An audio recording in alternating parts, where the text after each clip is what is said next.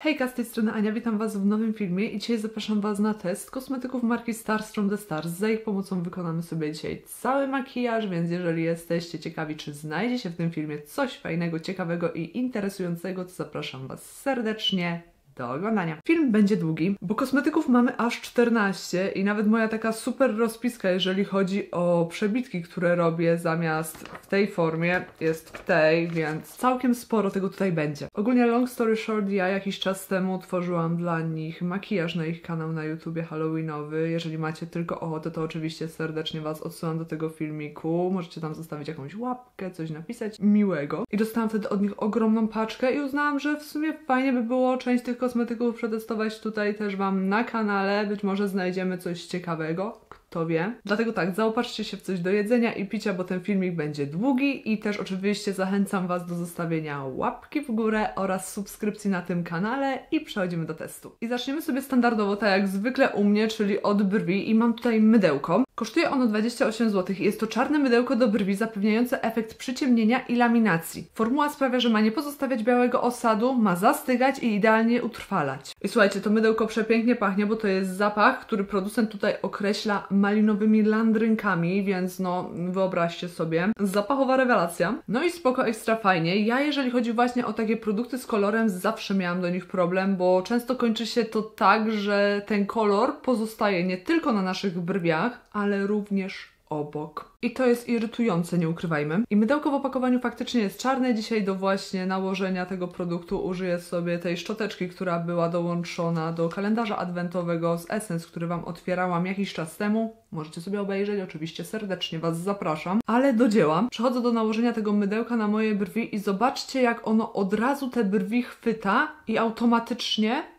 one są ustawione w tym kierunku, w którym ja chcę. Można je wyczesać, tak wiecie, bezpośrednio do góry. Wiadomo, tak nie robimy, ale chcę Wam pokazać, że się da. I co jest ciekawe, to mydełko delikatnie te brwi przyciemnia, ale jak możecie zobaczyć, nie brudzi okolicy w koło. Jak ja go po raz pierwszy używałam, to byłam, tak Wam powiem szczerze, w szoku, bo spodziewałam się, że będę tutaj tak jak zazwyczaj cała brudna, a takie pozytywne zaskoczenie tutaj miałam, jeżeli o niego chodzi. I zobaczcie, chwila, moment i brew jest wyczesana tak, jak chcemy. Tak wygląda różnica pomiędzy brwiami. Automatycznie możecie też zobaczyć, że ta brew jest bardziej podkreślona właśnie przez to, że ma ten produkt taki delikatny kolor, i ja uważam, że tutaj nie muszę już dokładać żadnego pisaka, żeby te brwi, wiecie, bardziej podkreślić. One są wystarczająco w tym momencie już zrobione. Tu dosłownie z tą brwią możecie zrobić wszystko, co chcecie i posłać ją w tym kierunku, w którym Wam się podoba. Na przykład mogę zrobić, o, coś takiego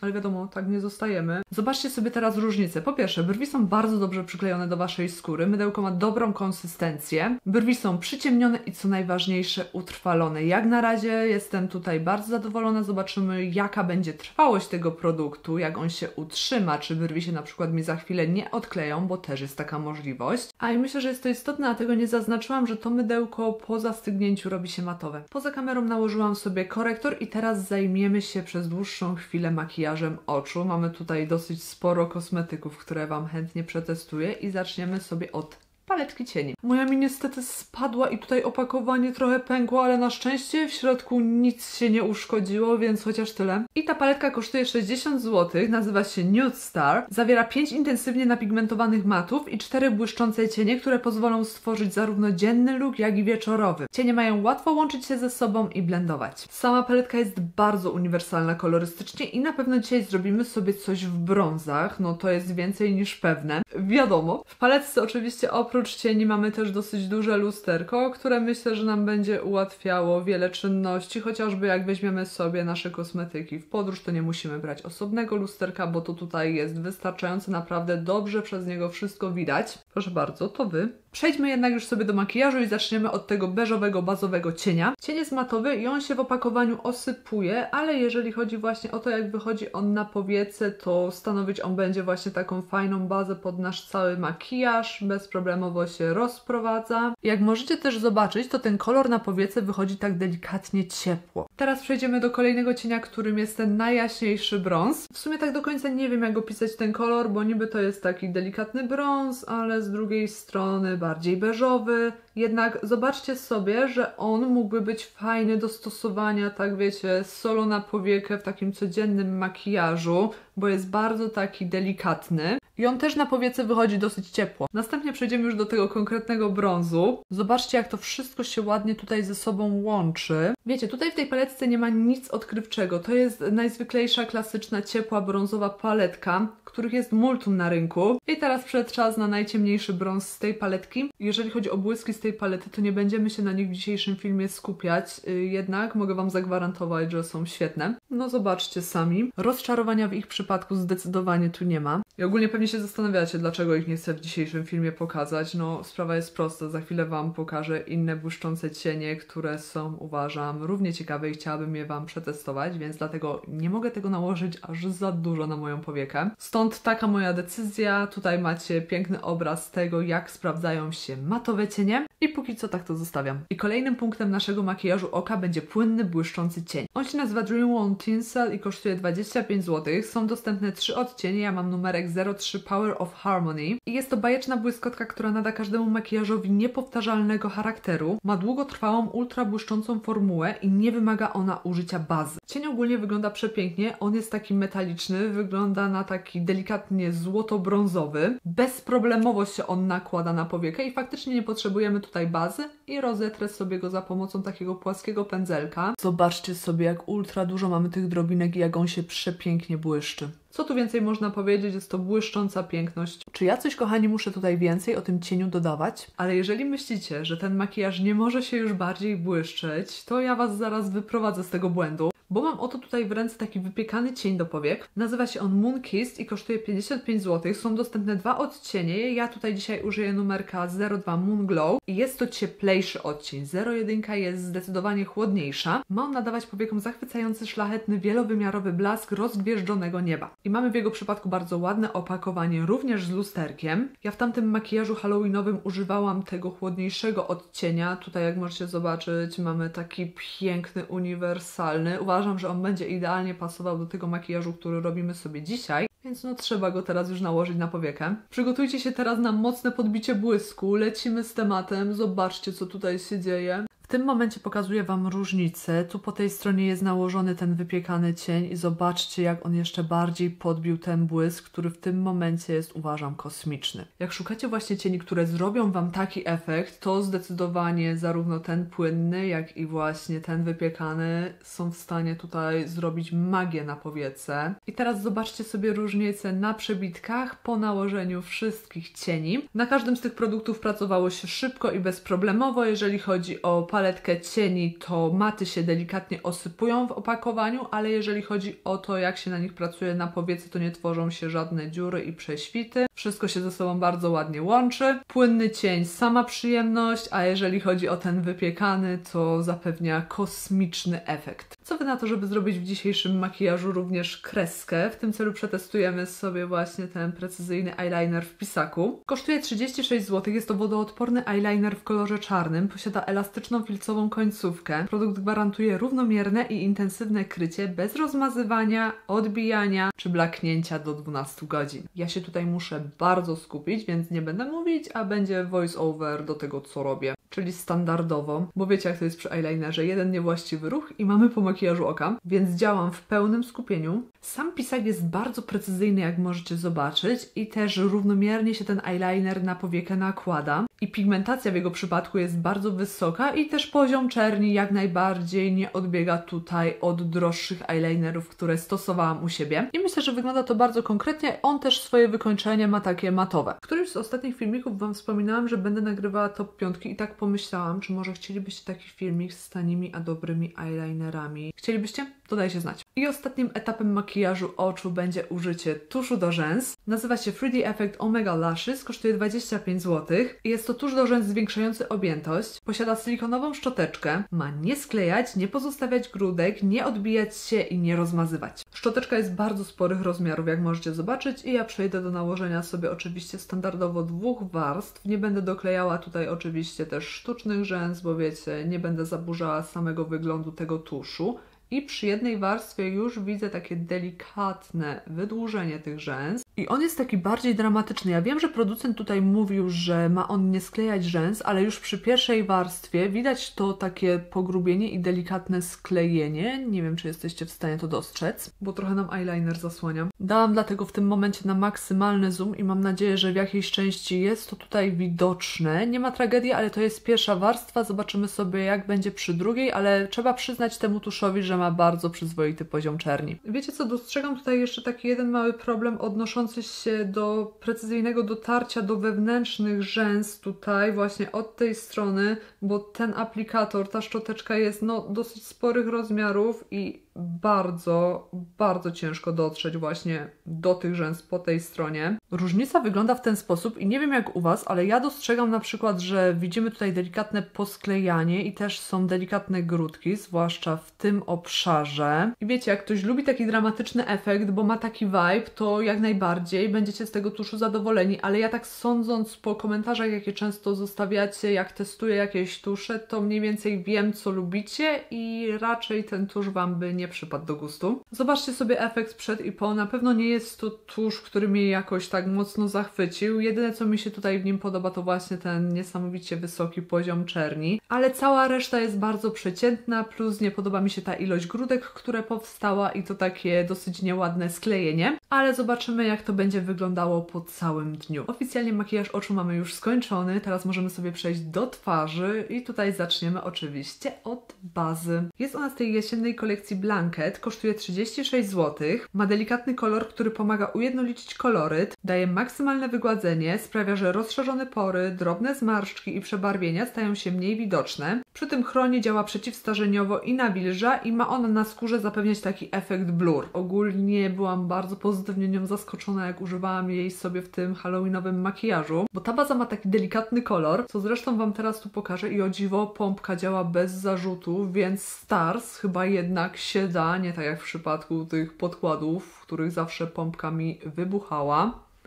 I lecimy z tematem. Ja ją sobie tutaj rozprowadzę po twarzy i zobaczcie, że ona automatycznie wyrównuje tutaj wszystkie zaczerwienienia. Na przebitkach możecie też zobaczyć, że aż tak bardzo się nie świecę. Wyrównanie tutaj porów jest na bardzo wysokim poziomie, więc można powiedzieć, że ta baza bazuje. I pamiętajcie tylko o tym, żeby nie użyć jej przypadkowo za dużo, naprawdę mała ilość w zupełności wystarcza. Poza kamerą nałożyłam sobie ten podkład w odcieniu 03 i jeżeli chodzi o to, jak on się nakładał na tę bazę, to bez problemu i wygląda przepięknie na skórze. I teraz możemy sobie przejść do bronzera. I mam tutaj taki w wersji płynnej, kosztuje on 35 zł. Są dostępne dwa odcienie. Ja dzisiaj Wam przetestuję numerek 02 Neutral Bronze. I jest to odcień cieplejszy, neutralny, wielofunkcyjny, czyli nada się zarówno do konturowania, jak i do ocieplania Waszej twarzy. Jest to lekki bronzer o idealnej pigmentacji, dający możliwość stopniowania intensywności, łatwo się blenduje, zapewnia też równomierny oraz trwały efekt. I w którymś z moich ostatnich testów ja Wam sprawdzałam właśnie ten jaśniejszy odcień, tu Wam dam odnośnik, a dzisiaj sprawdzimy sobie właśnie ten ciemniejszy. To lecimy z nim.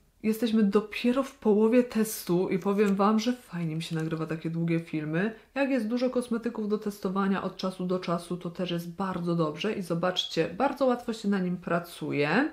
Jeżeli chodzi o kolor, to faktycznie jest ciepły. Ja sobie oczywiście chcę tutaj sprawdzić możliwość budowania intensywności, więc go dokładamy. I czy ta intensywność się nam podniesie? Oczywiście, że nam się podniesie. Jednak będę z Wami szczera, że wydaje mi się, że ta 01, którą testowałam Wam ostatnio, bardziej mi przypadła do gustu. Ona już w ogóle jest w takiej mojej półeczce z kosmetykami, których używam na co dzień, a niełatwo się do tej półeczki jest dostać. Jednak jakbym miała Wam doradzić, to jeżeli szukacie czegoś do ocieplenia Waszej twarzy, to zdecydowanie 02, a jak do konturowania, to tą 01. Bo wiadomo, każdy z nas odcień dobiera bardziej pod siebie. Wiecie co, ja się muszę przestać garbić, bo to jest tragedia. Tragedia istna. Nie kontroluję tego.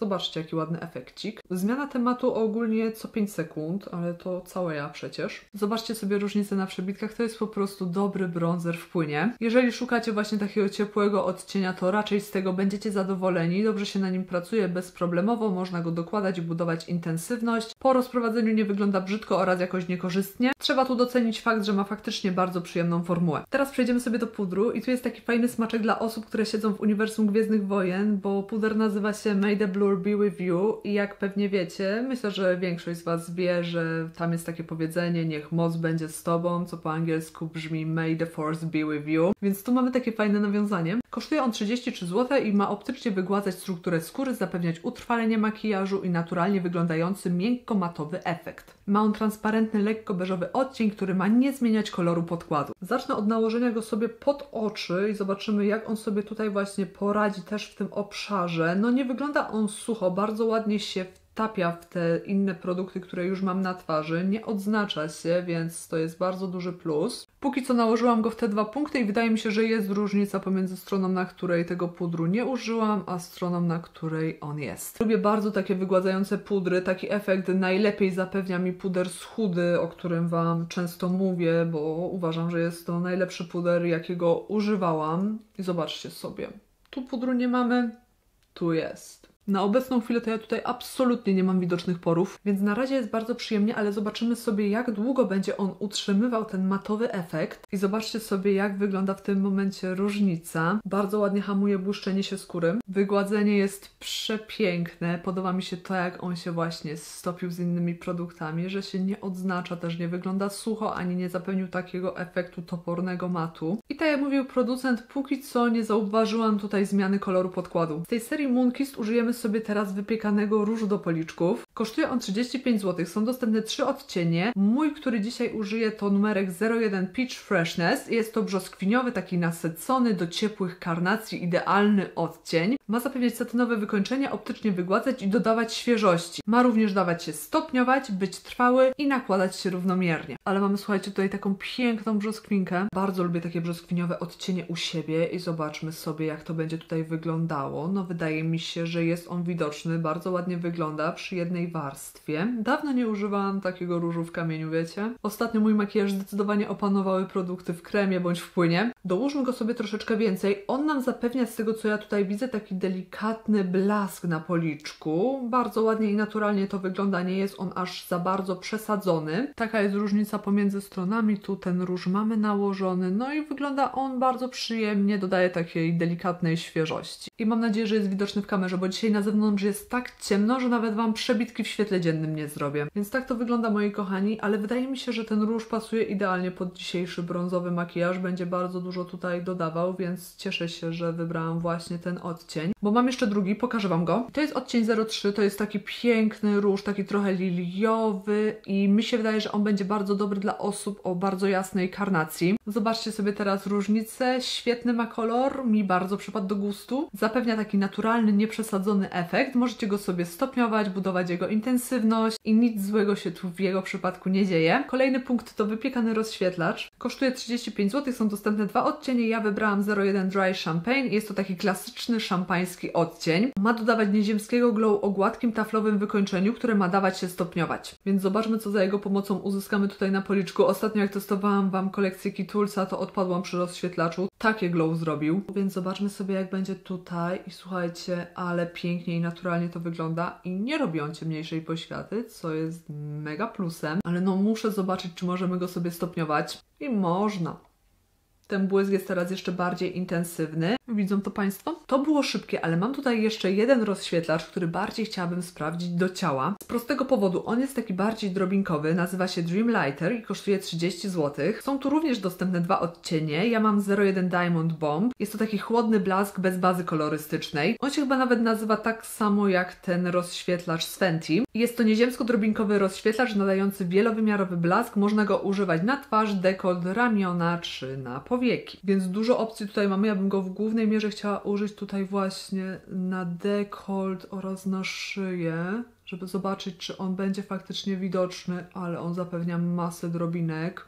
Jak ja wam to pokażę? Coś wymyślę. Wiecie, w kamerze może aż tego tak nie widać, ale na żywo to jest przepiękny blask. Wiadomo, to nie ma co tutaj porównywać, czy to jest jakiś tańszy zamiennik tego z Fenty, bo uważam, że oryginał zazwyczaj jest nie do podrobienia, ale on sam w sobie świetny efekt robi. I zaczynając właśnie od niego, to faktycznie mamy tutaj same drobinki, bez bazy kolorystycznej, więc zdecydowanie dla mnie lepiej się go będzie po prostu używało na ciało. Latem on zrobi furorę, bo już mogę sobie tylko wyobrazić, jak on przepięknie musi mienić się w słońcu. Natomiast jeżeli chodzi o ten wypiekany rozświetlacz, to jest też bardzo dobry, nie robi ciemniejszej poświaty, możemy go sobie stopniować i zapewnia przepiękny efekt na policzku. I ostatni punkt to oczywiście usta. Tutaj mam dwa kosmetyki. Pierwszym z nich jest konturówka też z tej kolekcji Blanket. Ja Wam już testowałam tą kredkę w kolorze burgundowym, a dzisiaj przed czas na ten drugi odcień. Taki bardziej beżowy, bo ten numerek się nazywa 01 Cozy Nude, kosztuje 19 zł. Jest to kredka do oczu i ust o matowym wykończeniu, ma być nieziemsko trwała, zastygająca i wodoodporna. Nudziaki myślę, że każdy z nas kocha i ja tutaj bez zbędnego gadania przechodzę już oczywiście do nałożenia jej na moje usta. Ta konturówka ma też oczywiście tutaj na dole temperówkę, za której pomocą jesteśmy w stanie sobie właśnie tutaj końcówkę naostrzyć, więc działam w tym temacie. Konturówka, jak możecie zobaczyć, ma bardzo chłodny odcień. Też te usta po niej nie są sklejone i też nie ma tendencji do rozmazywania się, bardzo ładnie zastyga. I teraz na tę konturówkę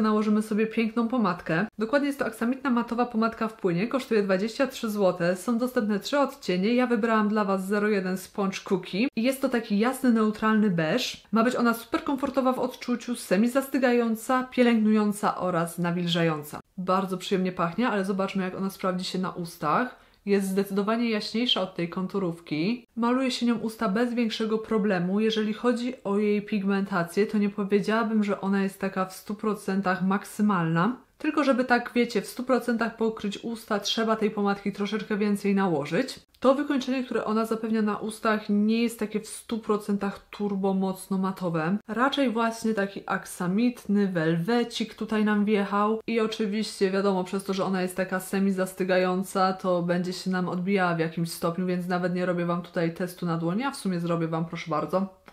Mówiłam, będzie się odbijać, to raczej było do przewidzenia. I zobaczcie sobie teraz różnicę na przebitkach. Faktycznie jest ona komfortowa, nie sprawia takiego uczucia ciężkości, ani też nie spływa z ust, ładnie się trzyma w obrysie. I też czuć od niej takie delikatne nawilżenie, więc faktycznie może troszeczkę jest coś w tym, co producent tutaj obiecywał. I bardzo mi się właśnie podoba połączenie tej konturówki właśnie z tą pomadką. Uważam, że stanowią mega fajny duet. I kochani, na chwilę obecną to jest tyle. Zobaczymy się wieczorem na podsumowaniu. Witam Was już tu po czasie. Słuchajcie, tak to wszystko wygląda i na pewno rzuca Wam się w oczy kolor moich ust, bo jakby ta pomadka zostawiła takie coś jak tint na nich. Dosyć ciekawa sytuacja. No na pewno to widzicie, że one mają intensywniejszy kolor niż moje naturalne, ale do rzeczy musimy wszystko sobie podsumować i pomyślałam, że polecimy po prostu kategoriami, czyli produkty do oczu, produkty do makijażu twarzy i produkty do makijażu ust. Postaram się to zrobić bardzo zgrabnie i szybko, jak mi wyjdzie w rzeczywistości, to się okaże. Jeżeli chodzi o tematykę produktów do oczu, to tutaj zdecydowana większość sprawdziła się dobrze, natomiast największe zastrzeżenia mam w sumie do tuszu do rzęs, bo jego efekt, no powiedzmy sobie, jest dosyć przeciętny. Rzęsy są i posklejane i mamy tutaj grudki, więc no ja wiem, że większości z Was się ten efekt nie spodoba, ale po czasie on się nie osypał, ani nic złego innego tutaj się nie stało. Ma fajny poziom czerni, tylko tak jak mówię, w głównej mierze uważam, że jest to wina w jego przypadku tej szczoteczki. Natomiast cała reszta jest zdecydowanie godna polecenia. Wszystkie produkty mają bardzo dobrą trwałość, przez cały dzień się utrzymały tu bez problemu, nawet to mydełko do brwi po czasie wygląda bardzo dobrze. Nie powstał tutaj żaden biały nalot po czasie, ani nic takiego, co mogłoby budzić jakieś większe wątpliwości, więc uważam, że jest to naprawdę fajne mydełko, które myślę, że większości z Was się sprawdzi. Natomiast cienie, zarówno płynne, ten wypiekany, jak i sama paletka są rewelacyjne, bardzo dobrze się na nich pracuje, błyski są po prostu nie z tej ziemi. Maty w paletce mają świetną pigmentację, bardzo dobrze łączą się ze sobą i też po czasie nie dzieje się tutaj nic złego. Ani nie straciły te cienie na swojej intensywności, ani się nie osypały, ani też po czasie nie powstały jakieś dziury bądź prześwity na powiece. Są piękne, bardzo klasyczne i uniwersalne. Tak samo jeżeli chodzi o eyeliner, nic się z nim absolutnie przez cały dzień nie stało, nie pokruszył się, można go sobie dokładać. On jest taki jak flamaster, jest intensywny, fajny, nie rozmazuje się, więc Jak najbardziej jestem na tak. Jeżeli chodzi o tę błyskotkę, to ona jest rewelacyjna właśnie do rozświetlenia ciała, jak zresztą możecie teraz zobaczyć na przebitce. No przepięknie się mieni i ja bym głównie w tym celu jej używała. Ale też na luzie możecie ją dawać na twarz, tylko wiecie, wtedy macie efekt nie taki taflowy, a właśnie samych takich drobinek. Spoko jest to, że ona właśnie jest y, transparentna, nie ma jakiejś kolorowej podstawy, w sensie bazy. I też bardzo ładnie te błyskotki trzymają się na ciele przez cały dzień. Jeżeli chodzi natomiast o te wypiekane produkty, mam tutaj na myśli rozświetlacz i róż, no to jak możecie zobaczyć, są one w dalszym ciągu tutaj widoczne, zwłaszcza jeżeli chodzi o rozświetlacz. Róż też myślę, że jesteście w stanie tutaj dostrzec, bo uważam, że w dalszym ciągu jest on bardzo intensywny. Tak samo jak było rano, myślę, że przez cały dzień się tutaj nic z nim nie stało. Ma piękny brzoskwiniowy kolor i możemy sobie go budować. Tak samo jest w przypadku rozświetlacza. Raczej te produkty nie zrobią Wam krzywdy, więc jeżeli się na przykład nad nimi zastanawiacie, to myślę, że spokojnie będziecie zadowoleni. Produkty do ust są ciekawe i komfortowe. Uważam, że to duo jest bardzo fajne, przynajmniej dobrze wygląda ono na moich ustach. Ładnie się te kolory ze sobą połączyły, zarówno jeżeli chodzi o konturówkę, która jest bardzo matowa, trwała, nie rozmazuje się, jak i o tą pomadkę, która bardzo ładnie wygląda na ustach, jednak w jej przypadku, tak jak mówiłam, ona się odbija i ta trwałość nie jest aż taka mocna jak w przypadku konturówki. Jednak razem na ustach tworzą fajny duet i te usta nie są przesuszone, nie ma tutaj żadnego dyskomfortu, więc też uważam, że są one bardzo poprawne. Bronzer mi się tutaj jeszcze gdzieś zapodział. Jeżeli o niego chodzi, to uważam, że też jego trwałość jest bardzo dobra, fajnie się na nim pracuje, bezproblemowo możemy go sobie oczywiście budować. Ten odcień